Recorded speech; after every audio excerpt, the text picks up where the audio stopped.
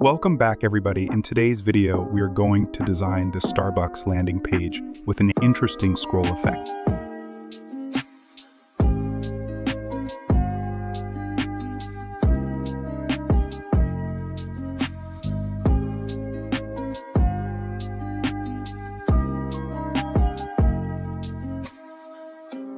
As you already know, we just start with two blank pages with just a simple nav bar and a background that I designed using different shapes and colors. Here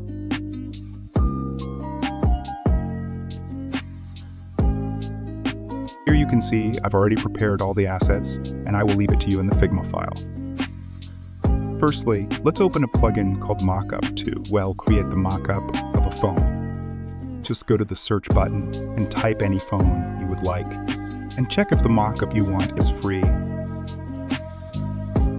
To add a background, just click on the plus button and add your image. I got mine from taking a screenshot of the Starbucks page. We can now go on and grab our pen tool and start shaping the interior of the phone for the masking effect.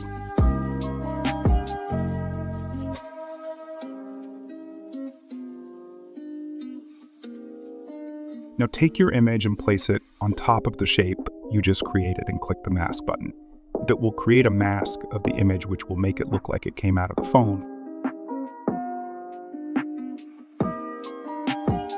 On top of all that, we can add other images to make it look better and modify the vector so everything can blend perfectly.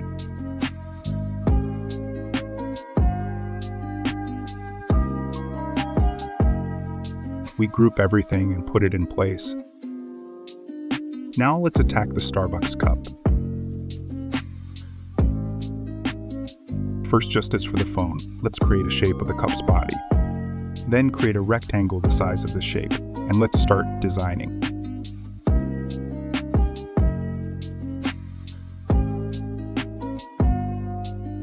Put this design over the shape and hit the mask button. To make it look more realistic, go to Effect and change the pass through to Multiply. And there you go. Put the cup aside and let's assemble the first page.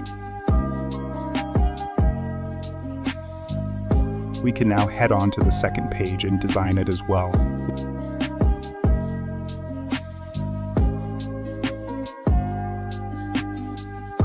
Let first take our drinks and start placing them on the page Make sure they are about the same size in a line. Take our first circle and place it under the first image.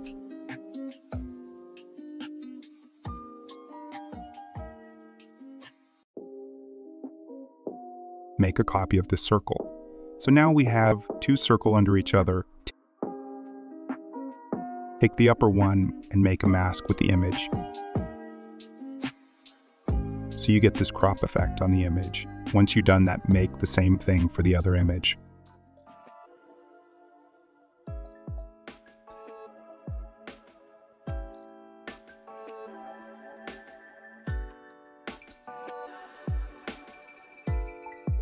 Now it's just a matter of design, so I'm speeding this part up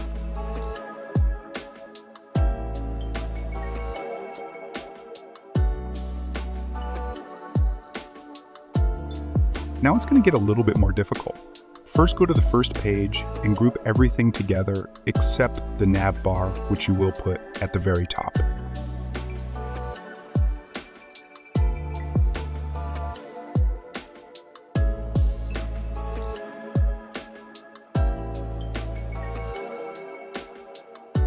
Now make a rectangle the size of the frame put it all the way back and make a mask with the group you just created.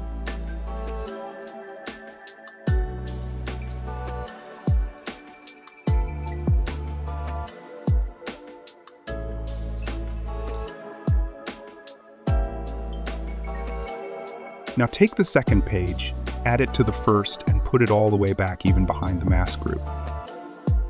Now take the cup, scale it up using the scale function by pressing K and add it to the page and make sure it is in front of everything.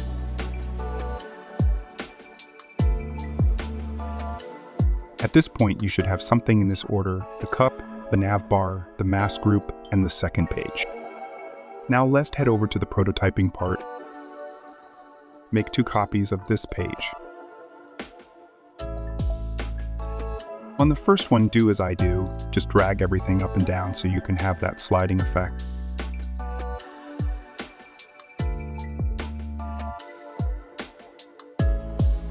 Go to the second one.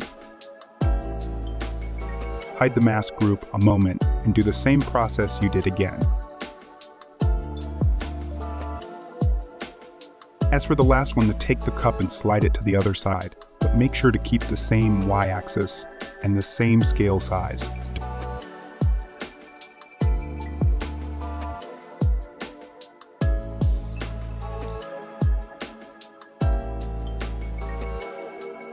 Don't forget to move the design group so you can have the 3D rotation effect.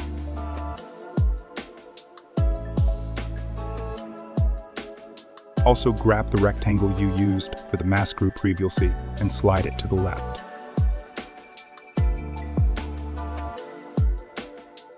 Now for the setting, link the first copy to the second with uh, after delay 200 Smart Animate 3500.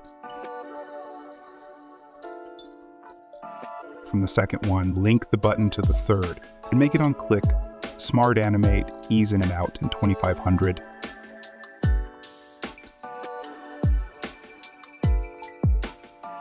And you can now check the result of your work.